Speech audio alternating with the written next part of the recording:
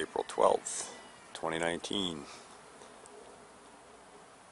Beautiful day out today. It's about 55. Might even be 60.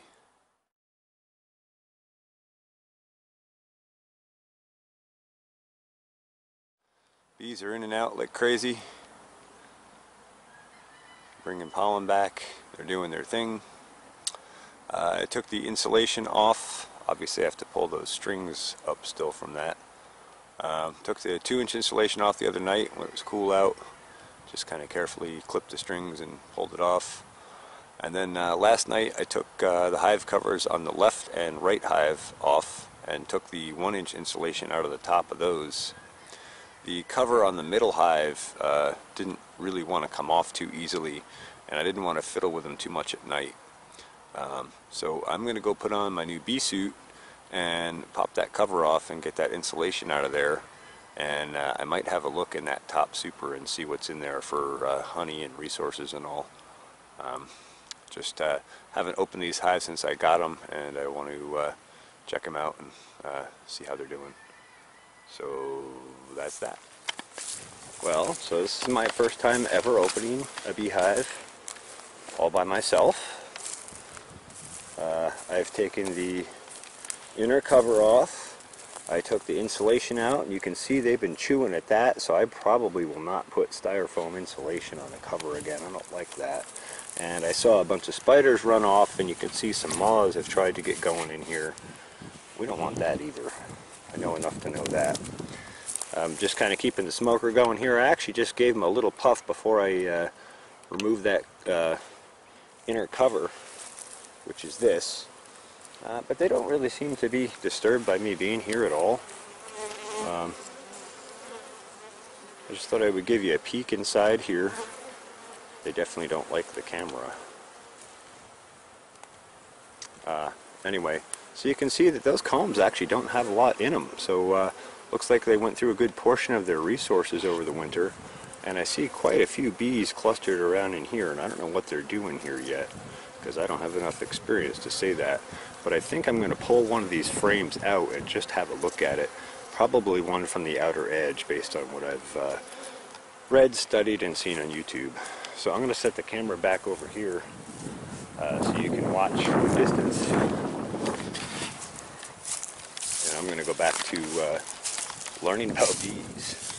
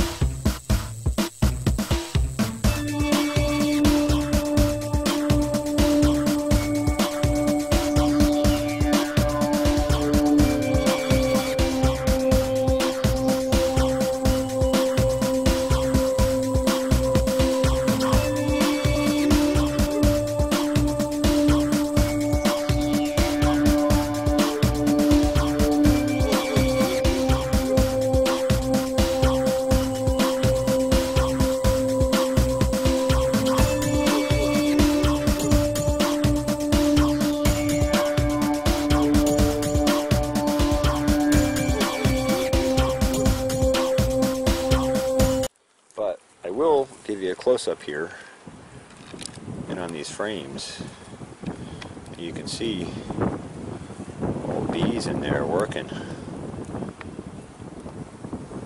At least I hope you can. Ooh, there's one with pollen on him. Where is he?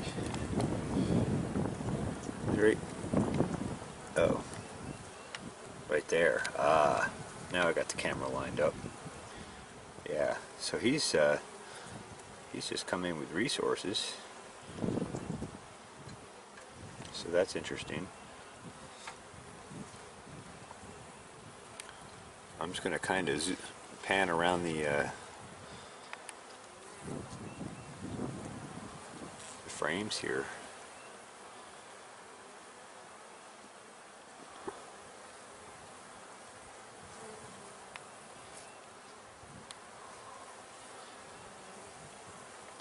Let you get a look. I'll try and get a little better zoom.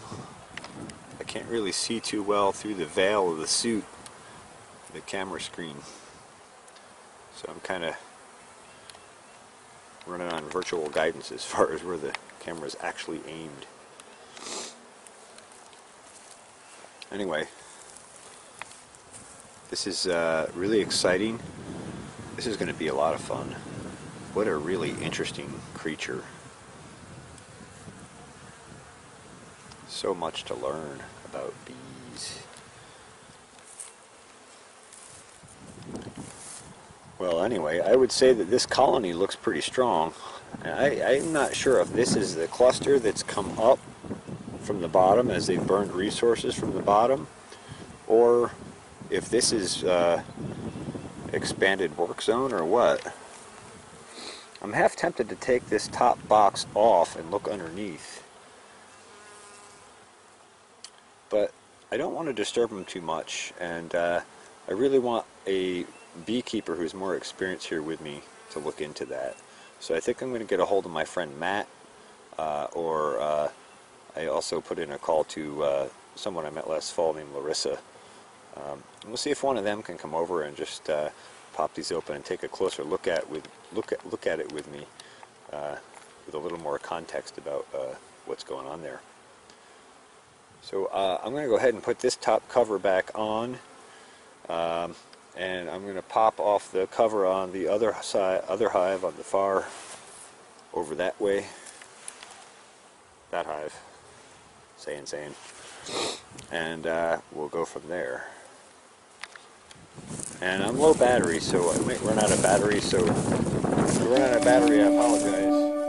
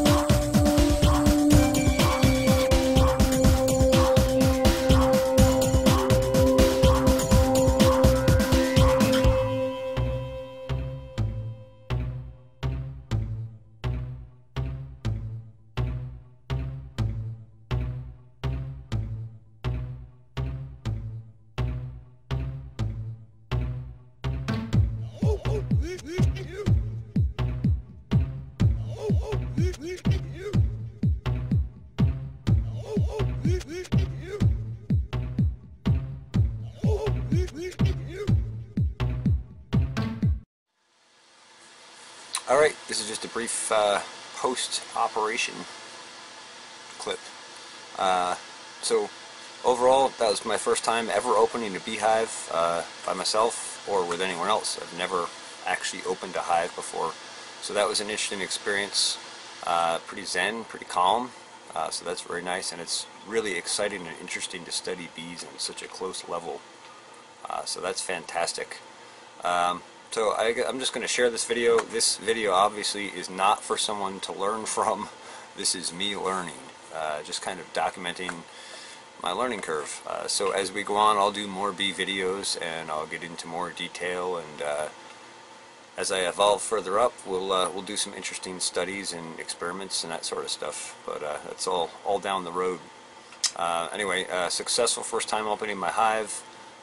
Stayed totally calm. Didn't feel at all nervous. I attribute a lot of that to my mom keeping bees when I was young, and I would start to smoke her for her, and I would be around the beehives within you know 50 to 100 feet while she was working in them. So I was kind of quite comfortable with being around honeybees on flowers in the summer. I often will catch, you know, kind of catch one off the flower and let them crawl up my finger. I really, uh, I really enjoy watching them and studying them. They're such an interesting creature. I hope you found this interesting. Uh, if you have any questions, don't be afraid to do so down below. I'm not sure I can answer them, but uh, I'm always glad to respond. Uh, thanks for watching the Farmacy Seeds Network, and we'll look forward to future bee videos.